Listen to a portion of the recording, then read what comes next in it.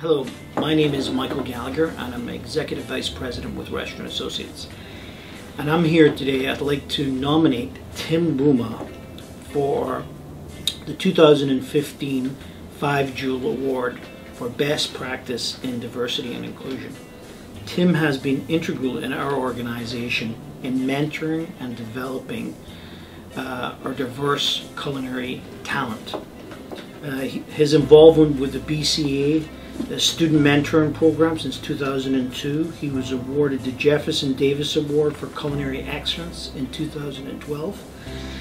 And Tim, Tim takes this uh, mentoring program very seriously. He recently mentored a young gentleman called Kareem Davis.